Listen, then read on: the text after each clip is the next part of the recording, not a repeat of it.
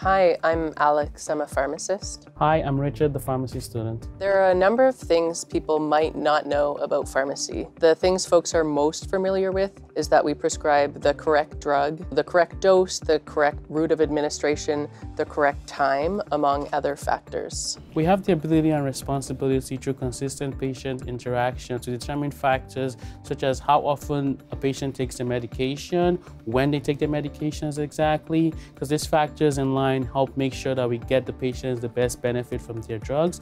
Pharmacists are one of the most accessible healthcare providers, and this gives us comprehensive insights into patient lives and how we can better facilitate that to ensure they're getting the best help from their medications and from us as well. For example, housing or lack thereof, access to refrigeration, access to food and water, among other things, can affect how patients can access their medications. They may be fasting, and that can affect route of administration if food is required with medication. Problem solving during the COVID-19 pandemic was a big area in the pharmacy profession. We had to deliver patients and medications, especially if they were in self-isolation or had to quarantine due to travel restrictions. This was a big issue and just being able to do that for patients was really helpful to enable them get their medications on time, get their medications when they needed to especially, and that was a big thing that really helped patients that we noticed.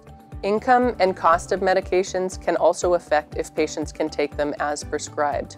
We can do things like switch to a more economical option if possible, or we can refer them to programs in existence for coverage like Nova Scotia Family Pharmacare. And not even just those factors as well. No matter how strong a treatment plan is, there are always factors that will be going against it. And it's important for us to be like, we see these factors and we acknowledge them and try to get a fix on them. That way we can get the ideal benefits for the patient.